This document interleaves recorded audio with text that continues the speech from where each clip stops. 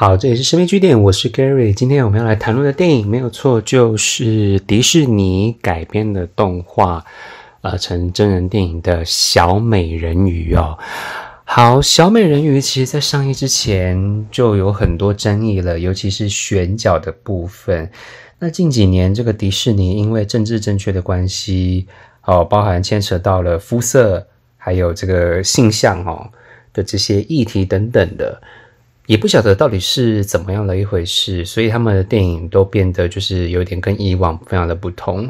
那这一次小美人鱼其实也是一样哦，就是这个呃人物啊、哈选角啊都被这个很多人觉得说这个怎么会弄成这个样子？好，那可是，在因为我们现在录音的时间是二零二三年的五月二十五号，那因为开盘烂番茄就是知名的这个评价网站但。烂番茄开出来的这个分数是七十趴，好，七十趴。其实我个人是觉得哦，烂番茄这个网站真的就是看看就好，因为烂番茄开出来的好这个分数，有的时候就是其实 那电影真的没有真的没有那么好看，但是反而。低的分数就是我反而是觉得好看的，所以烂番茄的这个网站的评价，其实大家就看看就好了。但是我们再回过头来讲到小美人鱼这个电影哦，就是因为政治正确的关系，你会你可以看到这个小美人鱼就是是这个肤色比较黑的这个版本，也因此呢，就是被很多大众没有办法接受，所以就分说 Not my Ariel。就是不是我那个不是我想象中的那个艾丽尔哦，所以大家都一直在讲说要要要换角啊或什么之类，就是就是有很多的争议这样子。但是其实说实在的，迪士尼其实根本就不 care 这种东西，因为对他们来讲钱就已经很多了，因为他们并购了那么多的公司，好做了那么多这个大制作的这个电影，其实被骂翻。也还是一意孤行的继续做自己的作品。那好莱坞的市场本来就是这样子，就是谁的市场、谁的公司规模大，谁就有办法住在这个市场。那赔钱那那那又有什么关系呢？顶多就是默默的，好让这个作品被批评，然后继续再做下一个作品这样子。其实，在讲到小美人人鱼之前，之前我还记得没错的话，好像还有一个彼得潘的这个就就是小飞侠这个系列电影哦。那部电影一样也是被骂惨了，不过他没有上院线哦，他是上那个 Disney Plus 的那个串流那个平台，因为彼得潘的那部电影也是找了一个肤色比较黑的这样子，就是不是不是白人白人来演的那种彼得潘那种角色，所以政治正确似乎已经是成为了这个迪士尼的一个活招牌哦，因为到底是不晓得是什么样政治的原因让他们走到这样子的程度，但是其实说实在的。市场虽然是他们在做主宰，没有错，那他们决定了我们的观影市场，那我们也没有办法说什么，顶多就是觉得这部片真的非常难看这样子。那到底小美人鱼的真人版改编之后是不是真的好看呢？好，因为我上回是有上网爬书了一下，就是有一个媒体特别做了就是真人版跟动画版的差异。那我本身是没有看过动画版的，所以我就不在这边做什么差异化的那些。呃，评论跟解说，因为那个不是我了解的范围。但是在看完真文真人版之后，我个人是觉得还蛮 OK 的。好，我个人是觉得还蛮 OK 的。但是有几个部分我觉得还蛮出戏的，就是说有一些还蛮不合逻辑的地方哈。好，所以接下来要讲的内容都会爆雷，所以如果还没有看过小美人鱼的电影的观众朋友们。记得要把关 podcast 关掉哦，从这边就从这边就是把 podcast 关掉。但我相信，嗯，这部片应该你们应该不会去看吧？我自己这么觉得，因为真的就是就是我个人发现，其实很多人对就是迪士尼的电影就是还蛮感冒的，就是动画啦或者什么，除非是那种是不是就是不是那种。给小 X 看的那种，否则一般来说，好像，呃，不管是身边的大朋友或小朋友，好像对这种这种这种就是这个迪士尼改编的这个电影，不大会有什么兴趣。那基于这一次小美人鱼的改编，如果我要来预测的话，我觉得应该它也不是一个可以回收的电影哦。不过。选角我觉得选的最好的就还是乌苏拉这个角色这个部分。乌苏拉是由这个玛丽莎麦卡锡所主演的。那认识玛丽莎麦卡锡这个演员的人都知道，玛丽莎麦卡锡其实演过很多喜剧片。她虽然胖胖的没有错，可是大部分她的戏路还蛮广的，而且。她也是算喜剧界的一线女星，所以这一次请她来加盟演出乌苏拉这个角色，我是觉得是小美人鱼这次真人版当中选角选的最成功的部分。那女主角海莉贝利的部分呢？这个就说她选角失败，也不能这么说啦，因为这部片本来就是以肤色较黑的导向来饰演小美人鱼啊。对不对？像小美人鱼刚开始这个海报一出的时候，或是预告一出的时候，我记得好像我看到一篇新闻，就是好像就是有那种黑人小朋友就看到说啊，原来我们黑人也可以演小美人鱼，不是只有白人而已。就是说，不是只有白人可以当白雪公主，不是只有白人可以当小美人鱼，我们黑人也可以哦。就是之类的那种那个那个。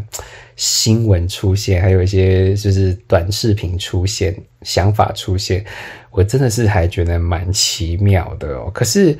我刚刚前面就有听到，就是因为是由肤色较黑的人来饰演，好，也让这个海莉贝利承受了很大的压力。海莉贝利就是那个女主角演员哈，承受了非常大的压力，就是后来被粉丝不是发动说那么。Ariel 的那个、那个、那个活动嘛，对不对？哦，那希望他挺得住啦。哦，不过至于你说这个角色选选角选不选的选成功，还是见仁见智。因为我刚刚前面就是说，这是以黑肤色较黑的人导向的小美人鱼，但是我可以说她的演技真的还蛮好的。我还蛮喜欢海莉贝利的演技无论是这个情感的表达上，哈，但是。好，或者是唱歌啦，好歌唱方面啊等之类的。哦，虽然我看的是中文版，中文版是由严艺格来饰演这个角色的。严艺格唱歌真的非常的好听哦，他是呃这个华研国际音乐旗下的歌手。至于现在还是不是，我还不晓得，因为我已经有一阵子没有关注华语的音乐圈了哈。不过严艺格真的歌声真的非常的不错，因为我去看的是中文版哦，我还不晓得海莉贝利的歌声是怎么样，其实就是看预告片就知道了啦。好听预告片就知道，那是他的歌声，那就是中文版的，我觉得也不错听哈。那中文版有一些歌词，我觉得写的还蛮妙的，就是什么说 Under the sea，好，就是留在海底，好，待在海里，怎么之类的，就是希望那个美人鱼不要离开，不要浮出水面去爱上人类这样子。那海莉贝利饰演的这个艾丽儿这个角色，我个人是觉得她的演技真的非常的 OK。好，我对他未来的这个好莱坞的之之路是还蛮期待的。只是说这一次，毕竟要扛下这么重要的角色，可说是辛苦他了哈。因为其实大家如果在看完海莉贝利演出的小美人鱼之后，呃，下次如果你有走过，就是我我说的是这个现在哦哈，以后我就不知道了哈。如果在近期，就是你有走进这个这个一现在录音的时间点，你有走经过就是西宁南路，也就是台北的西门町的西宁南路，好，跟这个呃峨眉街口，好，那个就是西门町的好乐迪那边有一家就是这个这个知名品牌的这个球鞋店哦，那里面还是还是衣服店，反正它有挂着的就是海利贝利的这个这个海报这样子，好，所以。其实要捧红一个人，经纪公司都已经做帮这位演员做好这个万全的准备了。配合电影的上映，就会出现就会出现一些哈运动的品牌啦，然后就是他的一些个人海报这样子。所以对于海莉贝利这个演员，我个人是还蛮期待的。好，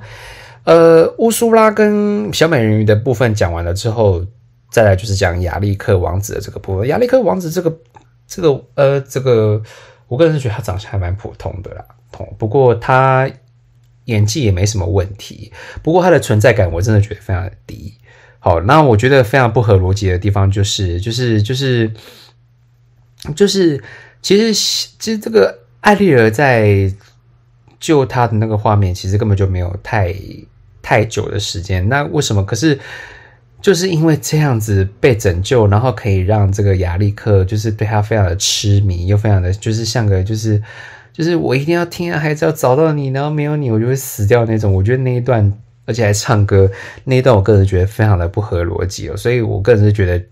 全片当中只有就是呃，因为亚历克王子被艾丽儿拯救嘛。那王子为了要寻找这个拯救他的那个那个人的踪迹，然后就在那边开始唱歌，然后还就是一副就是撕心裂肺的样子。只有我觉得那一段是非常的不合逻辑之外，其他我倒是觉得还可以。不过据了解哦，这个版本真人版的亚历克王子跟动画版的是有差别的哈。动画版的这个亚历克王子是看不到父母的，好不过。真人版的亚历克王子是，好，他是被领养的。为什么会被领养？因为到后面，其实我看到我真的吓了一大跳，因为他的国王跟王后，他的皇室的那个爸妈竟然都是也是一样肤色较黑的拉丁人种。不是不是我要歧视，就是就是就是政治正确未免也做的太超过了吧？真的是做的太超过了，但是没有办法。我们说公平起见，好不好？哦，毕竟迪士尼还真的是为就是有色人种好来饰演，就是取代这些以往刻板印象的白人角色来饰演。好，不管是小美人鱼啦，哈，好亚历克王子除了啦，因为亚历克王子也是白人啊，哈，还有就是就是亚历克王子的爸妈，哈，或是一些就是就连那个川顿国王。因为川顿国王是这个著名的西班牙影帝哈维尔巴登所饰演的，请问你知道哈维尔巴登是哪里人吗？呃，对不起，我刚刚讲他是西班牙人。对，那你那那既然是西班牙人，他也是拉丁人种啊，对不对？所以这政治正确真的是做的太超过了。不过哈维尔巴登算除外啦，哈，因为哈维尔巴登本来就是什么都可以演的角色，所以所以。什么都可以都都可以演的演员哦，所以他会出现在一些比较大型成本的这个电影来做客串，我觉得也不用太意外这样子。反倒我觉得最意外的就是真人版的亚历克王子的爸妈竟然都是拉丁人种，而且台词里面其实都讲得很清楚，就是说我们现在的这个住的这个地方，好有什么生意上的往来啊，讲到委内瑞拉啦，好巴西啦等等，反正就是中南美洲那些国家的这样子。全部都这样子，所以他的舞台其实就不是设定在，呃，反正就美国之类的，对，哦，那因为我们都知道小美人鱼它是丹麦，好，来自来丹麦的童话，所以照理来讲应该是要在欧洲才对啊，好，那这次场景，反正小美人鱼的故事就是把它放到中南美洲，虽然觉得非常的不搭嘎了，哈，不过。个人是觉得，还是觉得有一点奇特哦，这样有点奇特。但还是那句话，政治正确，哎，还是要为有色人种开一下先例。迪士尼也算是真的是蛮大胆的哦。好，然后，然后就是不论是打斗啦，或者是这个，因为我们都知道小美人鱼的故事，其实它童话故事是悲剧的，哦，它是悲剧的。好，但但你也知道。只要是童话故事，好交给了这个迪士尼，就绝对不会有悲剧，一定是皆大欢喜的结局。所以小美人鱼其实也是差不多的。不过我觉得真人版的这个安排，我个人是觉得非常蛮贴近，我觉得还蛮实际的，就是他不会以貌取人。它不是外貌协会，我所谓的外貌协会就是指这个艾丽儿跟亚历克王子，因为据了解，动画版的就是他们是完全是因为看对方帅跟对方美，所以才在一起的。但是呢，真人版的部分是添加了很多的互动，哦，包含就是亚历克王子跟艾丽儿在船上。呃，有一些比较亲密的举动啦，好，不是亲吻哦，就比如说任星座啦，好，或者是，反正他们一定要经过互动才会有那个就是恋爱的那个感觉，好，就是为恋爱做铺陈，而不是就是一见钟情的那种感觉，所以这就是真人版跟动画版的区别哈。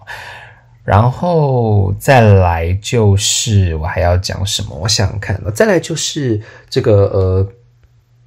这个动物的角色的这个部分，塞巴斯丁，还有那个小比目鱼，还有那个史卡托。史卡托原本动画版的是公的，那在这个新的真人版的版本，它变成了这个雌鸟，雌性的，也就是母的母鸟这样子。那是由奥卡菲娜，好，这个亚裔的演员为奥卡菲娜来做配音。那那个塞巴斯丁跟那个小比目鱼，我真的是觉得，怎么会把它弄成这个样子？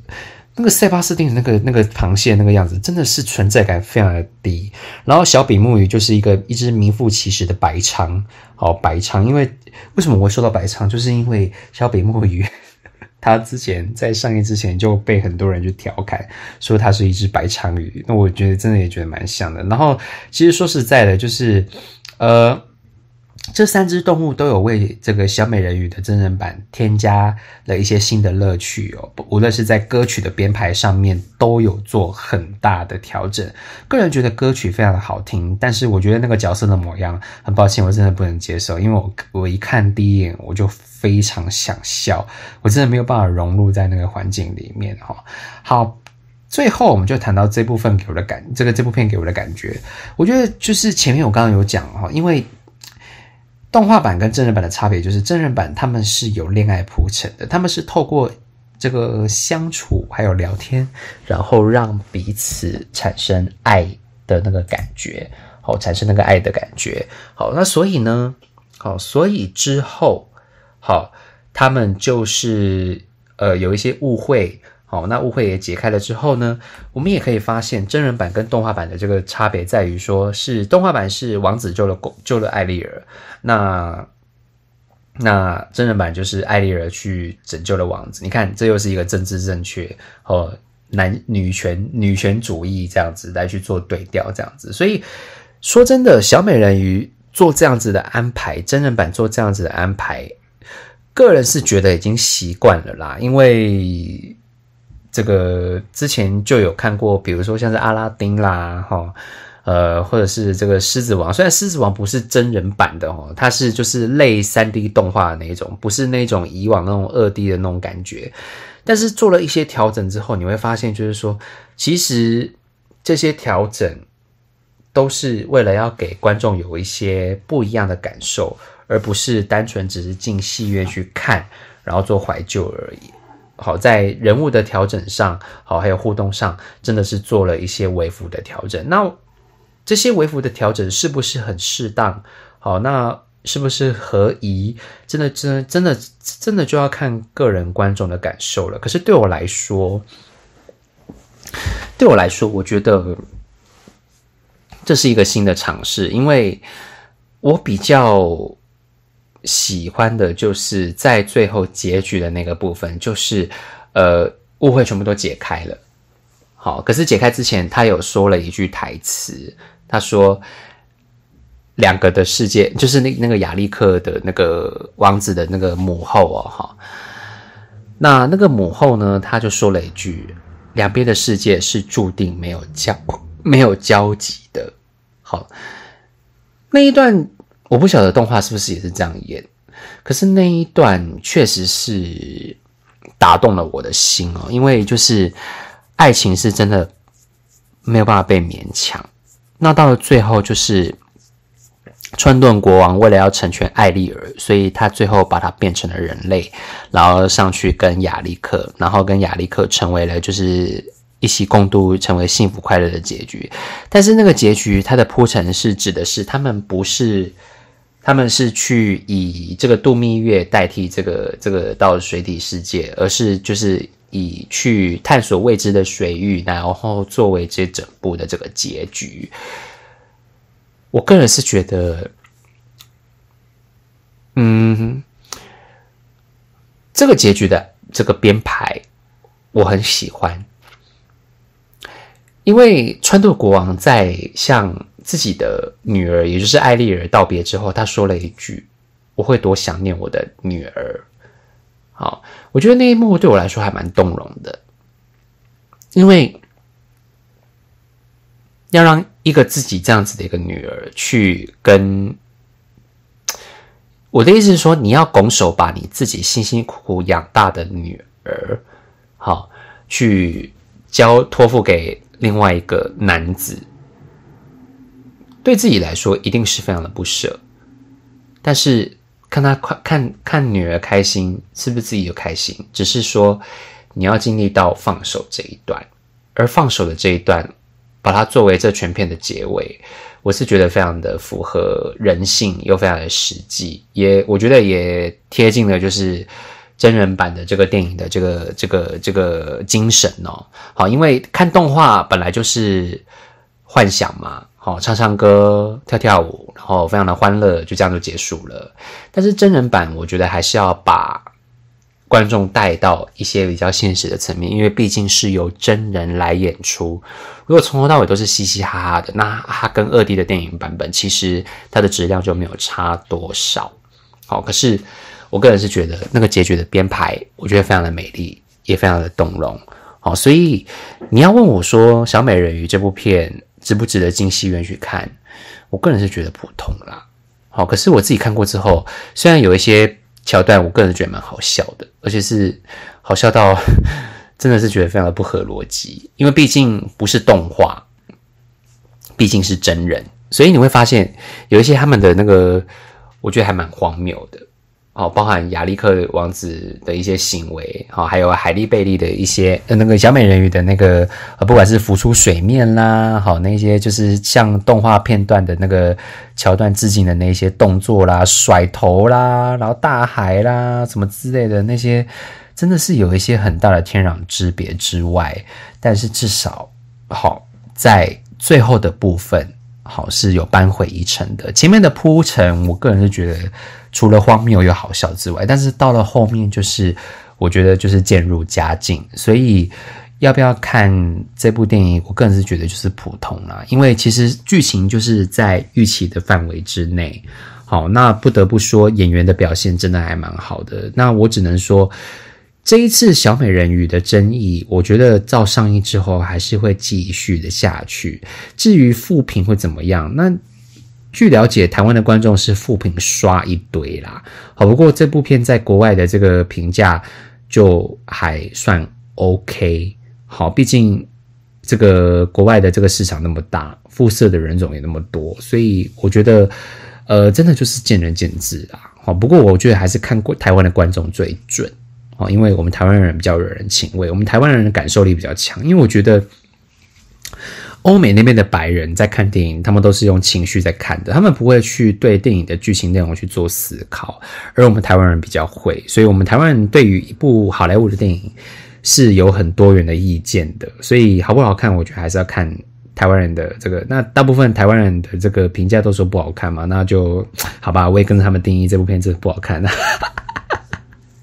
这样好像不对哈，这样好像不对哈，逻辑不对哈。好，无论如何。这部片就是普通，它没有到很好看，但它也没有到非常的不好看的程度。整体来讲，小美人鱼这次真人版的改编还是算